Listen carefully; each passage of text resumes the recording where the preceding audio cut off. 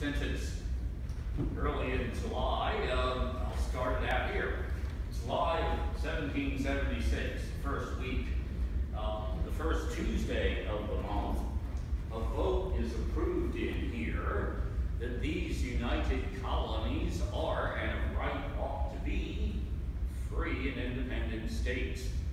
The group doing that would be a Continental Congress that had started out about a year and a half before trying to get their as loyal subjects. However, by the middle of spring 76, that group realizes they've got a lot of popular support for the big I word. They use that phrase. They get a whole number of committees going to work out the nuts and bolts of independence. And one of the committees had been five people, including Thomas Jefferson, to write the Declaration.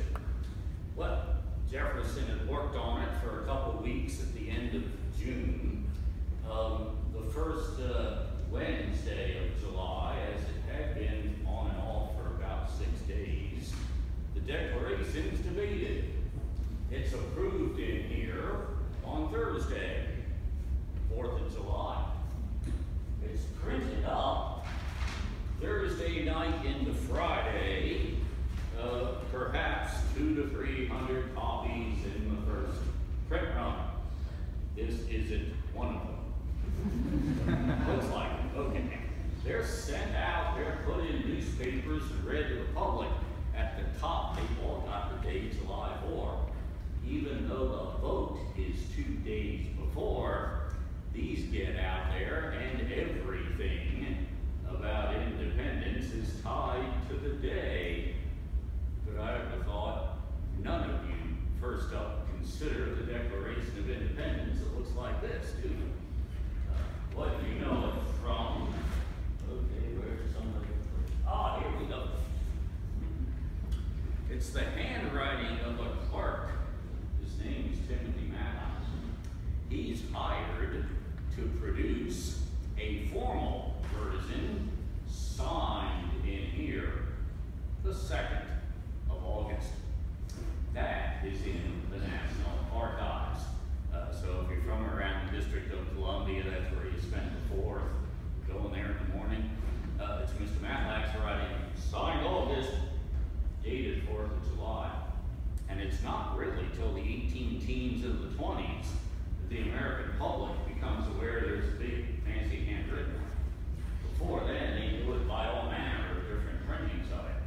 Well, uh, from 76 till 88, the United States is practically 13 countries.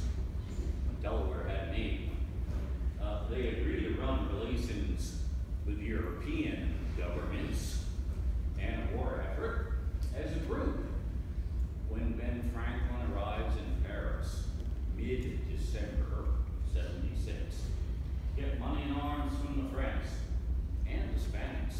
He is representing Congress of the United States. The arrangement ends up on a few pieces of printed paper. The Articles of Confederation and Perpetual Union turned out to be a bit optimistic. To be considering the Confederation as being perpetual, it didn't just keep going. Sometimes it worked fairly good, and other times it was uh, not so good. As often in history, it came down to the money. States assemblies kept the power to tax to themselves. Thank you. Made sense to them. They're elected. The assemblies would then vote donation money into the Confederation government. Uh, not with a huge amount of enthusiasm, but they'd send in a bit as long as the focus is